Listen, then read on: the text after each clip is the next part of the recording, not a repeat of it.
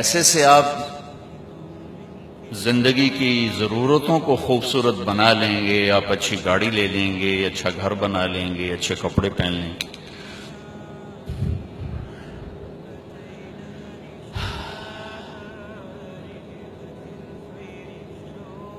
वहाँ मैनचेस्टर में एक दोस्त की गाड़ी में बैठा तो उसके पास ये मोबाइल था, यही। ये मोबाइल। तो मैंने ऐसे उठा लिया तो मुझे मुझे लगा जैसे ये पीछे सोना लगा हुआ है। मुझे ऐसे लगा कि सोना है, और ऐसे हीरे लगे हुए थे। छोटे छोटे। मैंने कहा, ये हीरे हैं? कहा, जी हाँ ये सोने का कवर जी है। मैंने कहा, ये कितने का है? कहा, जी, ये सत्तर हज़ार पाउंड का है। मैं कहता ए कम, सत्तर हज़ार नाल करदा पे तू, सत्तर हज़ार पौंड लाए। या तो कोई वाधू काम करे या फिर तो काम ठीक है, कि तो जी आप ही गल सुना देंदा, डायल ना करो, आप ही बोलना लग जाता तो ये कितनी हमाकत और बेवकूफ़ी है कि ये सत्तर हज़ार में जो जो काम कर रहा है, वो सत्तर हज़ार पौंड में कर रहा है? तो ये इंसान ये कर सकता है, ये हो सकता है कि वो आला दर्जे की चीज़ें जमा कर ले। लेकिन वो ज़िंदगी खूबसूरत बन जाए, ये इस मोबाइल से नहीं होगी, उस आलिशान घर से नहीं होगी। वो सिर्फ़ जनाब रसूलुल्लाह अलैहि वसल्लम के पीछे चलने से होगी कि कायनात की सबसे हसीन ज़िंदगी मेरे नबी लाए। सबसे हसीन जात थे आप। अल्लाह ने ऐसा खूबसूरत कोई नहीं बनाया। जब आप जा रहे थे ना यार टिश्यू पेपर तो देवे जो जब आप जा रहे थे ना, या ये रुमाल दे दो। हज उसमें हिजरत के सफ़र में जा रहे थे जब आप? तो बस ठीक तो रास्ते में एक जगह थी राबिग राबिग। अब इस रास्ते में नहीं जो आप जाते हैं, पुराने रास्ते। वहाँ भूख लगी। तो एक खेमा देखा, वहाँ ये हज़रत अबू बकर अबू बकर के गुलाम आमिर बिन फहरा और गाइड अब्दुल्ला बिन औरकत वो मुसलमान नहीं थे। काफिर थे वो उस वक्त। और जनाब सल्लल्लाहु अलैहि वसल्लम। तो वहाँ एक बुढ़िया बैठी थी खेमे में कमा जी, कुछ खाने को मिलेगा? मैं कहा, बेटा, कहत का जमाना है, कुछ भी नहीं। तो एक बिल्कुल मरियल बकरी खड़ी हुई थी। तो आपने कहा, मैं इसका दूध निकालू? उन्होंने कहा, पुत्र है तो मास ही कोई नहीं तो दूध कितों करना है? आपने कहा माजी इजाज़त दे दो, अगला काम मेरा है। तो जो कि एक अनहोनी हो रही थी ना तो आपको बड़े गौर से देखती रही। तो आपने वो, उसको खींचा और उसको जो थनों को हाथ लगाया तो ऐसे लटक के नीचे आ गए। दूध से भर गए। अच्छा बकरी से निकलता है एक पाव दूध। हम गाँव में रहते हैं। बकरियाँ बकरियाँ हर वक्त चारों तरफ़ होती एक पाव से ज़्यादा दूध निकल। आपने पूरा बर्तन भर दिया। फिर वो माँ जी को पेश किया।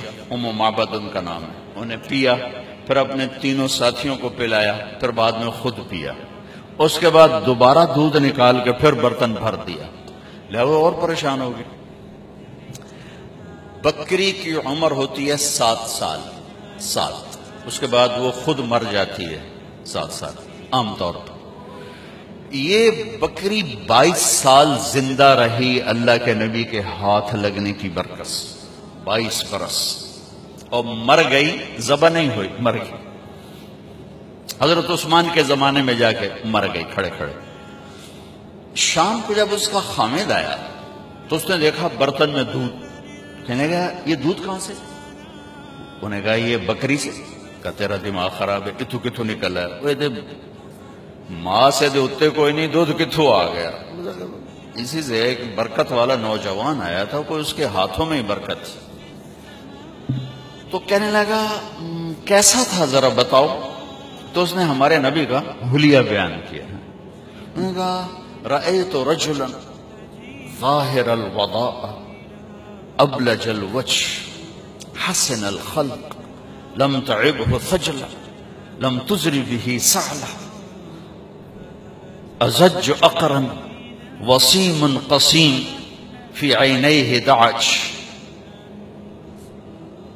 फ़ी सौत ही सहल फ़ी लहयत ही कफाफा फ़ी उनुक ही सतह इन तकल्लम अलाहुल बहा व इन सकत अलाहुल वकार फहुव अंदर फलाफा सुभान क्या खूबसूरत उसने हमारे नबी को ऐसे अपने हमारे सामने खड़ा कर दिया।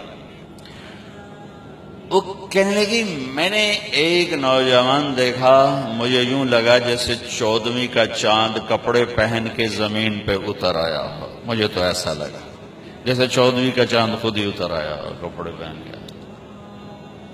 चमकता चेहरा, खूबसूरत जिस, पेट बढ़ा हुआ नहीं, सर के बाल उड़े हुए नहीं। यानी गंजे नहीं। सर से लेकर पाँव तक चमकता हुआ जिस्म। जिधर से देखती थी, हसीन नज़र आते थे। कसीम। जितना देखती थी, देखने का शौक बढ़ता था, वसीम। दुनिया में खूबसूरत तो हर दौर में आते रहेंगे। वसीम और कसीम दुनिया में एक आया ना पहले ना बाद। यूसुफ अलैहिस्सलाम दुनिया के सबसे हसीन थे। लेकिन वसीम और कसीम सिर्फ़ एक हस्ती हैं, एक हस्ती, वो हमारे नबी हैं। कि वसीम उसे कहते हैं, जिसको जितना देखा जाए, उतना देखने का शौक बढ़े। आँख ना भरे, आँख ना भरे।